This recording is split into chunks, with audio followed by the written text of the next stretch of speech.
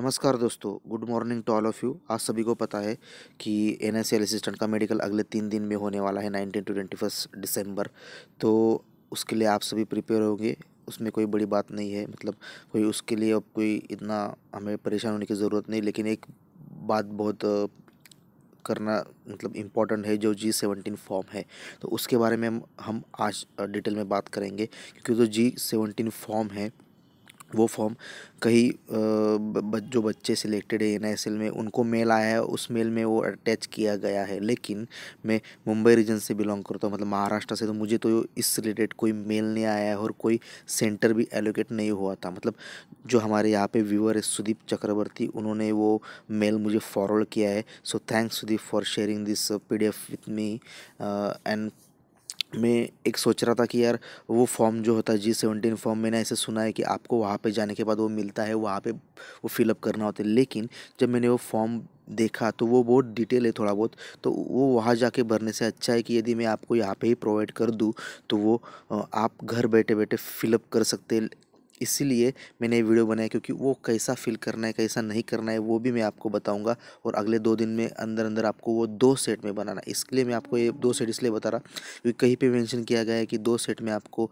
Documents लाने कहीं पे मेंशन कर, किया गया है कि सिर्फ़ एक ही सेट में लाना है।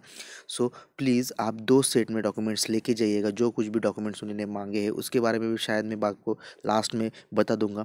सो जी फॉर्म भी आपको प्रोवाइड करा दूँगा। सो मैंने दोस्तों, अब मुझे समझ में नहीं आ रहा था आपके साथ ये जी सेवनटीन फॉर्म का पीडीएफ शेयर कैसे करूँ। तो कल एकदम अचानक ध्यान में आया कि मैं एक टेलीग्राम ग्रुप और टेलीग्राम चैनल ही शुरू कर देता हूँ, जिसमें वो मैं शेयर कर दूँगा। सो कल मैंने वो टास्क पूरा कंप्लीट किया, चैनल और ग्रुप का बनाया। सो नीचे डिस्क्रिप्शन बॉक्स में आपको मैं लिंक दे दूँगा। प्लीज़ आप ग्रुप भी ज्वाइन कर लेगा ग्रुप मैंने इसलिए बनाया क्योंकि आप वहाँ पे कुछ इश्यूज़ होगी तो आप मुझे डायरेक्टली बता सकते हो। वहाँ पे हम कमेंट कर सकते मतलब डिस्कस कर सकते हैं। और चैनल जो होगा, वो वन वे कम्युनिकेशन होगा group two way communication two way communication होगा। सो गाइज़ इसमें हम बेसिकली अब मैं आपको जो जी सेवनटीन फॉर्म है, वो एक्सप्लेन करने जा रहा हूँ, कैसा फिलअप करना है, कैसा नहीं फिलअप करना है, जो कुछ भी ऐसे डाउट्स है वहाँ पे तो वो मैं आपको बताऊँगा और आप प्रिंट निकाल के रखिएगा, उसके बाद पीडीएफ शेयर करने के बाद और उसके बाद फॉर्म फिलअप शुरू करना करना शुरू कीजिएगा। और इसके पहले एक और वन मोर इम्पोर्टेंट अनाउंसमेंट कि आ, कुछ लोगों को तो जो मैंने आपको बोला है कि जी सेवनटीन फॉर्म का मेल आया है उसी में उनको बताया गया है कि आपका मेडिकल ये थर्ड पार्टी लेने वाली है। तो मुझे तो ऐसा कुछ मेल नहीं आया, लेकिन 14 दिसंबर को मुझे एक कॉल आया एम डी एंड सेंटर से और उन्होंने कहा कि, सर, आपका मेडिकल जो अपॉइंटमेंट है, वो M D India centre Mumbai को है तो उसके रिगार्डिंग आपको मेल आ जाएगा। सो आज क, आज सुबह भी सुबह मैंने देखा पाँच बजे तो मुझे कल रात को एक मेल आया है एम डी इंडिया सेंटर से और उन्होंने इस मेल में कहा है कि आपका मेडिकल 19 टू 21 दिसंबर में 8 टू 11 एम में होगा, लेकिन दोस्तों, एक प्रॉब्लम यहाँ पे ये है। डॉक्यूमेंट वेरिफिकेशन का टाइम उन्होंने बताया है eleven to one P M eleven A M to one P M and two thirty P M to four thirty P M on any date मतलब नाइनटीन ट्वेंटी और ट्वेंटी वन सो मेडिकल का time eight to eleven A M ही क्यों है? मतलब तीन ही घंटे दिए हैं, लेकिन हमारा तो इम्पोर्टेंट क्या है? हमारा सबसे पहले डॉक्यूमेंट वेरिफिकेशन ब्रांच आर में जाना होगा। सबसे पहले वहाँ पे विज़िट करना होगा हमें। जब हम आर में जाएँगे सबसे पहले वहाँ विज़िट करेंगे। जब हमारा डॉक्यूमेंट वेरिफिकेशन कंप्लीट होगा हमारे आइडेंटिफाई हमारी आइडेंटिटी प्रूव होगी तभी वो हमें मेडिकल में भेजेंगे। तो वो तो इलेवन ए की बात ही पॉसिबल है मेडिकल करना। नहीं तो एक बात हो करना पड़ सकता है कि आपको एक दिन मेडिकल कर, कर करना पड़ सकता है और दूसरे दिन आठ और इलेवन ए में। सॉरी एक दिन आपको आरओ में जाके डीवी करना होगा और दूसरे दिन eight to eleven A M medical centre में जाके मेडिकल करना पड़ेगा। लेकिन शायद इसकी पॉसिबिलिटी बहुत कम है। आप डीवी के डीवी में जब जाओगे, आपका वहाँ पे डॉक्यूमेंट विकमेंट वेरीफाई होने के बाद वो आपको सीधा डायरेक्टली मेडिकल सेंटर भेज देंगे। और सिर्फ़ बताने के लिए था शायद उन्होंने मेल में कि आप सबसे पहले प्रेजेंट हो जाएगा, इसलिए उन्होंने एट टू इलेवन एम बताया होगा। सो so गाइज़ हमारा आज का जो मतलब आज का जो सेशन है वो किसके लिए है? तो जी सेवनटीन फॉर्म के लिए है। तो सो मैं आपको अब जी सेवनटीन फॉर्म के लिए बारे में बताऊँगा। So let's begin with the G seventeen form so ये जो दोस्तों, ये जी सेवनटीन फॉर्म है, इसमें जो कुछ भी चीज़ें मैं बताऊँगा, सिर्फ़ ऐसी चीज़ें ही बताऊँगा जो आपको भरने में दिक्कत आ सकती है। इसीलिए बाकी की चीज़ें मत पूछना उसके अकॉर्डिंगली मैं आपको वो भी बता दूँगा कि ये मुझे मत पूछना, वो मुझे मत पूछना क्योंकि मैंने क्लियर कर दिया है। सो लेट्स मूव ऑन ये फ़र्स्ट पेज है। Total six number six pages का ये फॉर्म है। इसको आपको दो सेट में लिखना है। दो सेट में जब आप दो डॉक्यूमेंट का सेट लेके जाओगे तो फॉर्म भी शायद दो ही लेके जाइएगा। सो एक आपको इंटरेस्टिंग बात बताता दोस्तों, इन्होंने फॉर्म में पूछा है कि आप किस पोस्ट के लिए अप्लाई करो तो यहाँ पे असिस्टेंट लिख देना। सिर्फ़ असिस्टेंट ये तो हंसने वाली बात है, थोड़ी सैलरी एक्सपेक्टेड भाई सैलरी तो मैं एक लाख भी एक्सपेक्ट करूँगा। सो ये कैसा भरना ये मैंने भी नहीं फिल किया है। प्लीज़ इस थोड़ा ब्लैंक छोड़ दीजिएगा, वहाँ जाके हम फिलअप कर देंगे सैलरी का क्या है? So when notice will required before joining so मैंने कहा है कि ten days prior to joining ऐसा ही कहा है। नहीं तो हमारे इसकी वजह से ज्वाइनिंग ना लेट हो जाए। इसलिए मैंने सिर्फ़ only ten days prior to joining का है। सो सेकंड पेज पे जब आते हैं तो ये सब आपको फिल करना आप सभी को पता है इसमें कोई ये बात नहीं है। हाँ सिर्फ़ यहाँ पे कैटेगरी में आपको जो कौन सी कैटेगरी बिलोंग करती है जाति का नाम जो कुछ भी है रिलीजन सबको आपको पता है। सो so, सबसे इम्पोर्टेंट है यहाँ पे दिया है कि एनी डिफेक्ट्स आप स्पीच में हो आप दृष्टि से हो आप ईयरिंग से हो ऑर्डर से जो कुछ भी है उसके बारे में आप कोई डिफेक्ट्स आप येस किए कहिएगा। तो मैंने यहाँ सभी को नो कहा है। जन्म भी कोई बीमारी हो तो उसके लिए आप यहाँ पे लिखेगा मतलब किसी को ब्रेन ट्यूमर हो तो प्लीज़ ब्रेन ट्यूमर, जो कुछ भी हो मतलब नॉर्मल सी बीमारी भी हो सकती है तो आप जो कुछ भी अब मुझे मत पूछिएगा कौन सी बीमारी इसके अंदर आती है कुछ के अंदर नहीं आती है, मुझे नहीं पता। यदि वो बीमारी आती है तो यहाँ पे उन्होंने कहा है कि नेम और address of family, doctor family doctor जो कुछ भी उनका नेम और एड्रेस यहाँ पे मेंशन करना होगा। तो उसके बाद आपको यहाँ पे दिया है कि are you schedule caste S C, S T, O, B, C, यहाँ पे कहना है येस एंड ब्रैकेट में yes I am O B C S C S T so domicile का मतलब होता है कि आप कौन से स्टेट से बिलोंग करते हैं? आपको यहाँ पे डोमिसाइल नंबर नहीं डालना है। डोमिसाइल ई डी डोमिसाइल मतलब आप कहाँ से हो डोमिसाइल नंबर रहता तो आपको नंबर डालना पड़ता। तो कास्ट सर्टिफिकेट रेफरेंस नंबर आपको डालना है डेट ऑफ़ इशूंस डालना है डेट ऑफ़ इशूइंग अथॉरिटी डालना है। कास्ट सर्टिफिकेट रेफरेंस नंबर जो होता है, वो दिया होता है फोर वर्ड्स में शायद कुछ तो भी फोर एट सेवन थ्री दिया होगा, कुछ ना कुछ तो भी दिया होगा, वो आपको देखना है, जहाँ पे एस की साइन होती है, उसी के बाजू में डेट होती है, सोलह नवंबर, और उसी के ऊपर रेफरेंस जो नंबर दिया होता है, जो हाथ से लिखा होता है या प्रिंटिंग भी होता है सो वो आपको लिखना है। सो so, इसके बाद एड्रेस ऑफ़ इशूइंग अथॉरिटी मतलब जो इशूइंग अथॉरिटी जो एस है उसका पूरा एड्रेस लिखना है tehsil office dash dash dash so यहाँ पे आप देख सकते हो उसके बाद कि स्कूल कॉलेज नेम सो आपको सबसे पहले E S S C H S C graduation और पोस्ट ग्रेजुएशन किया है तो ऐसा लिखना है. एग्ज़ाम कौन सी पास हुए इस यहाँ पे लिखना है नेम पहले नेम लिखना है स्कूल का. सभी का. अब मैंने एस एस सी किया है यहाँ पे एच एस सी किया है यहाँ पे बी ई e किया है और यहाँ पे पी जी एम ए किया है। सो यहाँ पे मैं एस एस सी के सामने कुछ लिखूँगा नहीं जो स्पेशल सब्जेक्ट है।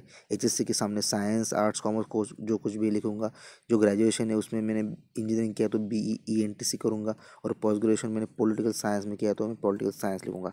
कौन से ईयर में पास किया है वो लिखूँगा कितने परसेंट मार्क्स मिले वो लिखूँगा कौन सी श्रेणी मिली वो लिखूँगा कितने अटैम्प्ट में मैंने सॉल्व मतलब पास किया वो लिखूँगा कौन से मीडियम ऑफ़ इंस्ट्रक्शन है वो भी लिखूँगा। सो so, इसके बाद इंफॉर्मेशन क्या आपको कभी स्कॉलरशिप मिली है तो एनी प्राइजेस तो यहाँ पे आप मेंशन कर दीजिएगा जिनको मिला है। Have you done any post graduate research work और पब्लिश एनी पेपर मतलब कोई रिसर्च वर्क होता है ना कहीं कोई पेपर्स पब्लिश होते हैं, कोई बीटेक में एमटेक में और कहीं पे भी आप पीएचडी करते हो तो उसके बारे में भी इंफॉर्मेशन यहाँ पे दीजिएगा। Have you pass examination in Hindi if yes और नो देन गिव डिटेल्स जिसने, जिन्होंने हिंदी में एग्ज़ाम पास किया है, वो क्या आपने कोई हिंदी परीक्षा उत्तर हिंदी में एग्ज़ाम दी कोई हिंदी परीक्षा जो सिर्फ़ हिंदी मीडियम से बिलोंग करते मतलब कुछ ना कुछ होता था शायद, बचपन में मैंने सुना था। हाँ तो जानो दो, मुझे इतना इन्फॉर्मेशन नहीं है। सो इसके बाद high school extra curricular activities में हाई स्कूल में आपने क्या किया था? कौन से ऑफ़िस फ़ील्ड किया था? मतलब तो मैंने यहाँ पे लिया है कि स्पोर्ट्स और ऑफ़िस वगैरह के बारे में तो मैंने नहीं मेंशन किया। सो कॉलेज में भी मैंने स्पोर्ट्स मेंशन किया यहाँ पे भी नहीं मेंशन किया। आप स्कूल में where meeting your college experiences तो मैंने यहाँ पे लिखा है family from my family so यहाँ पे to what what extend what you spending money on items other than the education so कितना परसेंट सो so, मैंने यहाँ पे परसेंट में मेंशन किया है सो मैंने ज़्यादा नहीं मेंशन किया। जानबूझ के सिर्फ़ थर्टी परसेंट मेंशन किया। थर्टी परसेंट ही? हाँ शायद उतना ही है मेरा ज़्यादा नहीं सो so, यहाँ पे जिनके पास शॉर्ट एंड टाइपिंग का एक्सपीरियंस है वो यहाँ पे मेंशन कर दे। सो उनका स्पीड कोई भी टाइप राइटिंग का वो भी मेंशन करे शॉर्ट हैंड का जो स्पीड है वो भी मेंशन करे। अब ये जो मीनिंग है ना, ये मुझे नहीं पता। जिनको पता है शॉर्ट हैंड वो सभी को पता है। ऑटोमेटिकली उनको पता होगा। जो टाइप राइटिंग है, उनको, उनका ऑटोमेटिकली पता होगा। और यहाँ पे विशेष योग्यता एनी मतलब कोई होता है ना इसके आगे स्टेनो विनो शायद वही होगी विशेषज्ञता सो इसके बाद फैमिली बैकग्राउंड के बारे में आपको पूछा गया है। यहाँ पे आप सब लिख सकते हैं, ये आप सभी को पता है। हाँ यहाँ पे जो एक मिस्टेक यहाँ पे वो कर सकते हैं कि यहाँ पे इनकम पर मंथ पूछा है ईयरली नहीं। सो आप एक काम करिएगा सेवेंटी थाउज़ेंड यदि आपका इनकम होगा तो डिवाइडेड बाई ट्वेल्व कीजिएगा नियर अबाउट जो कुछ भी आएगा अप्रोक्सीमेट वैल्यू ले लीजिएगा। फाइव एट थ्री थ्री आता है तो फाइव एट डबल ज़ीरो ले लीजिएगा। सो इसके बाद जिनकी शादी हो, उनको पत्नी का नाम ऑक्यूपेशनल एड्रेस वैसे एक पता मतलब जो कुछ भी है यहाँ पे दिया हुआ है। वेदर इन सर्विस और प्रोफेशन कोई सर्विस करता है या नहीं करता है यहाँ पे पिताजी का नाम दिया है और इनकम उनका दिया है। लेकिन नीचे बोला है कि कोई सर्विस पेश करता है तो उनको नीचे पता देना होगा जिनका वो प्रोफेशनल एड्रेस होगा वो देना होगा। क्या उनके पत्नी का नाम देना होगा पत्नी और पति का नाम आ, मतलब लेडीज़ होगी तो पति का नाम जेंट्स होंगे तो उनको पत्नी का नाम देना होगा। यहाँ पे उनका मंथली इनकम देना होगा उनका एजुकेशन क्या हुआ है और कुल पारिवारिक इनकम। जो तुम्हारे पिता का दिया है जो आपका दिया है मतलब जो कुछ भी होगा फाइनल इनकम वो। सो so, मैंने तो यहाँ पे मेरा तो यहाँ पे कुछ ये नहीं है तो मैंने जो पिताजी का जो इनकम था वही फाइनल इनकम में भी लिख दिया पर मंथ पर मंथ सिर्फ़ ये ध्यान में रखना। नीचे जो जिनको जो शादीशुदा है उनके जो बच्चे होंगे उनके बारे में उनको यहाँ पे इंफॉर्मेशन देनी है और डिपेंडेंट्स मतलब किसी ने एडोप्ट किए हैं कुछ किए हैं कुछ लोग एडोप्ट किया होता है या आ, कोई माँ चाचा चाची होते हैं उनको बच्चे नहीं होते तो वो हमारे साथ रहते हैं तो उनके साथ रिलेशन क्या है उसके बारे में भी जानकारी देनी है। सो सबसे सबसे इम्पोर्टेंट अब ये आता है कि पर्सनल रेफरेंसेस सो यहाँ पे आपको तीन लोगों का ऐसा नाम देना है जो आपके रिलेटिव्स ना हो और एन के फॉर्मर एम्प्लॉयज़ ना हो। सो so, उनका रेफरेंस आपको देना है उनका एड्रेस देना है जो आपको पहचानते हो। किसी को भी गली के मोहल्ले के किसी भी राम शाम को उठा मत लेना जो आपको पहचानता हो जो आपका यदि कंपनी ने उनको कांटेक्ट किया और आपके बारे में इंफॉर्मेशन लिया तो आपके बारे में इंफॉर्मेशन बता सके ऐसे आदमी का लिखा। भी यहाँ पे मुझे मत पूछना कि भाई मैं तो मेरा यहाँ पे इसका नाम चलेगा, दादा का नाम चलेगा, दादी का नाम चलेगा, जो चाहिए आपको करो। उन्होंने यहाँ पे रिलेटिव्स का ही दिया। तो ऐसा मत करना, मेरे फ्रेंड का चलेगा गर्लफ्रेंड का चलेगा, ये सवाल मुझे मत करना। इसके बाद उनको ऑक्यूपेशन दूरध्वनि क्रमांक टेलीफोन नंबर पूछा है मोबाइल नंबर नहीं। छोटी छोटी मिस्टेक्स मत करना। एम्प्लॉयमेंट रेफरेंस यदि जिन्होंने एम्प्लॉयमेंट में कभी किया है मतलब एक्सपीरियंस हो तो यहाँ पे सब कुछ फिल कर देना उन्होंने। उसके बाद ये सबसे इम्पोर्टेंट है क्या do you live with parents yes और नो तो ठीक है बोर्डिंग में रहते हैं तो यस यदि नहीं यहाँ पे नहीं है तो यहाँ पे यस हो सकता है नहीं तो यहाँ पे तो मैंने यहाँ पे रेंट किया है। सो so, एक सबसे इम्पोर्टेंट अब ये है कि do you own real estate so real estate का मतलब क्या होता है कि लैंड और ऐसी सॉरी ऐसी लैंड जिसके ऊपर कोई प्रॉपर्टी बिल्ड की गई हो। मतलब कोई बंगला आपने कंस्ट्रक्ट किया है, आपका कोई बंगला है, घर है, कोई शॉपिंग मॉल है, कोई कॉम्प्लेक्स है, ऐसी जो होती है वैसे उसी प्रॉपर्टी को रियल इस्टेट कहते हैं। यदि आपके पास, आपके नाम पे खेती है, सिर्फ़ खेती है तो वो रियल इस्टेट में नहीं आती है। सो प्लीज़ रियल इस्टेट की डेफिनेशन क्लियर कर लीजिएगा और मुझे कमेंट बॉक्स में प्लीज़ ऐसा मत पूछिएगा क्योंकि मेरे पास तो ज़मीन है, लेकिन वो हम करते नहीं है, वो किसी को भाड़े पे दिए है, ऐसा वैसा। जो कुछ भी है, रियल इस्टेट के बारे में आपको इन्फॉर्मेशन देखना है, उसकी डेफिनेशन नेट पे देख लो और हाँ या ना में बोल दो। यदि हाँ है तो उसकी क्या कीमत है और वो कौन से टाउन में लोकेटेड है, उसकी सबको अनएक्सपेक्टेड मतलब जो अप्रोक्सीमेट कीमत कीमत होती है उसकी करंट, उसको आपको देना मतलब मूल्य देखिए, मूल्य में बताया उन्होंने।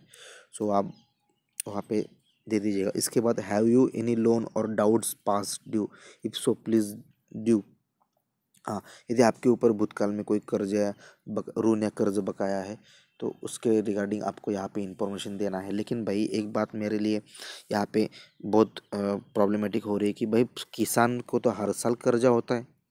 तो कौन से कर्जे के बारे में बात करें? अब माई फादर इज़ फार्मर तो मेरे ऊपर भी उन्होंने कर्जा निकाला है बैंक से। तो हर साल कर्जा निकालते, दूसरे, तीसरे दिन, दूसरे, तीसरे साल तो नील कर देते। हैं सो पिछले दस, पंद्रह साल से तो कर्जा निकाल रहे अब कौन से बारे में बात करें?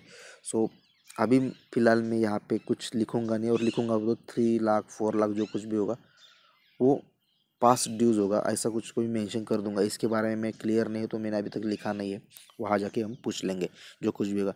लेकिन मोस्ट प्रोबेबली अभी वो कर्जा यदि नील है तो मैं यहाँ पे डैश ही कर दूँगा।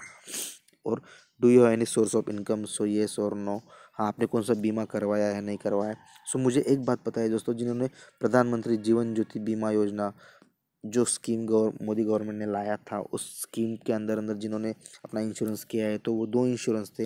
एक थर्टीन ट्वेल्व रुपीज़ पेड करके और एक three thirty one rupees paid करके। तो वो लाइफ इंश्योरेंस और एक्सीडेंटल इंश्योरेंस है। हेल्थ इंश्योरेंस नहीं है तो मैंने दो ऑप्ट किए तो मैंने दोनों जगह पे यहाँ पे कर दिया है।